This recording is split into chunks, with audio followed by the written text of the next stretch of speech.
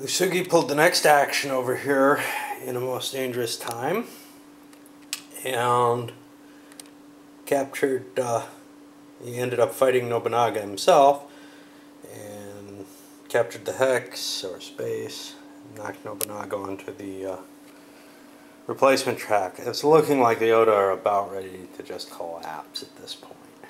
The next actions were the Mori who managed to trounce Hideyoshi.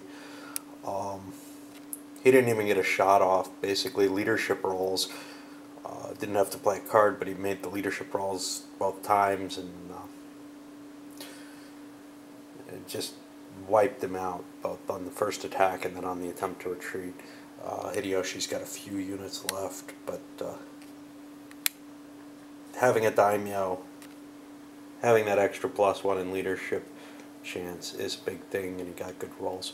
Uh, and then we've got the uh, Takeda getting the next event, and they only rolled a one for movement, so they just moved forward and took this, but they finally made uh, Yamagata an actual daimyo. Now that Kyoto's owned. The Anti-Oda Alliance uh, minors got the next turn, and the Miyoshi captured the territory, and then the turn end marker came up.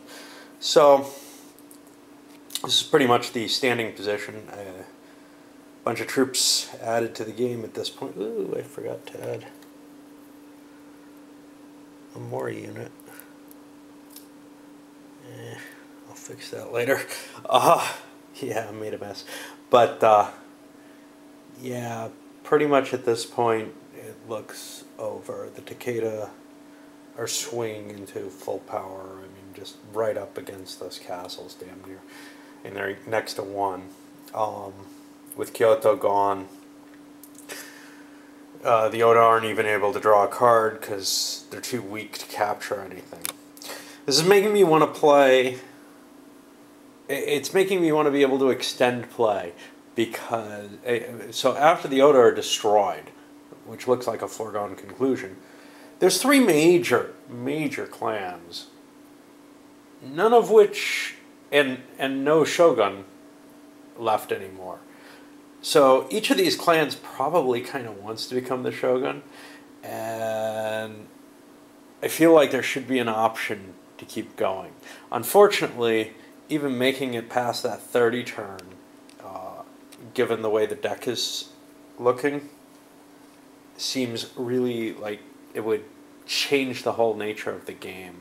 Uh, the deck's just not big enough and you're not supposed to reshuffle it. I definitely want to put some thought into uh, the idea of how to extend the game, but once you start throwing cards into a game, and there's the historical pers- people, I mean, this is as it stands, it's already a 14 years for the standard game. People are dying, and I'm not entirely convinced that there shouldn't.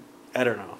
It just it, it, it feels like I want to continue the game beyond the point where things uh, things are. That's all, and I don't know if it's going to be easy but I'd like to come up with rules for that.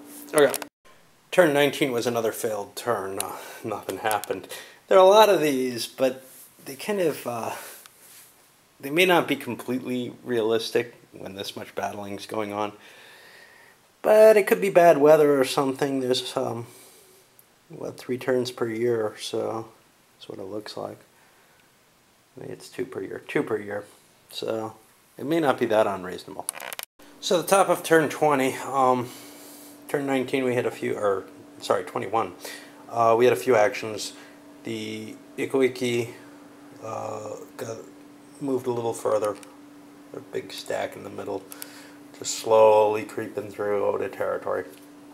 Uh, Oda got a chance to move, and he basically consolidated his position uh, at the castle and is preparing for an attack on the Takeda. Takeda got a slight move. Uh, again, they also moved forward a little bit. And then the turn end came. And during the turn end, rather oddly, Uh, both the Takeda, Shingen Takeda, and uh, uh, the uh, Uesugi, uh, I don't remember his name, uh, clan leaders, daimyo, whatever, died. so their heirs are in charge now. And in both cases, those are much less competent leaders, um, at least in one sense or another.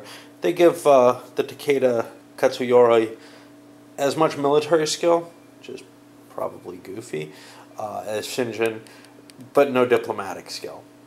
He certainly shouldn't have the diplomatic skill. Um, and uh, Kagekatsu, uh, the Uesugi uh, Lord, is somewhat less. Uh, he, he, he's down to the realm of the physically possible in terms of combat bravery. Uh, so that both of those are kind of a bonus for the Oda, but it still may be too late to do anything about it.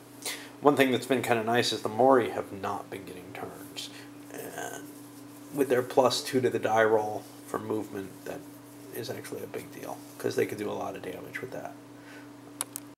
Continuing tragedy of the Nobunaga uh, experience is going. Um, Oda got the first draw of the turn, got a big roll.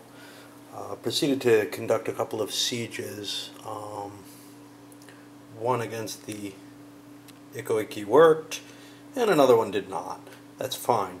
They also massed almost a, a humongous force against um, the majority of the Takeda force down here.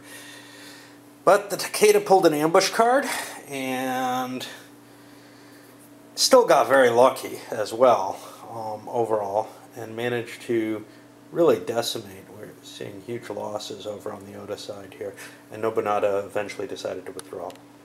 End of turn 21, the Oda got another uh, action, but first the minors set a siege in place.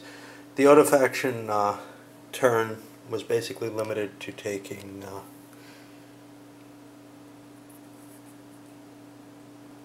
Nagashima there. And maybe a little bit of repositioning. Um, I've already thrown the troops out on the board that are coming, and we're ready for the next turn.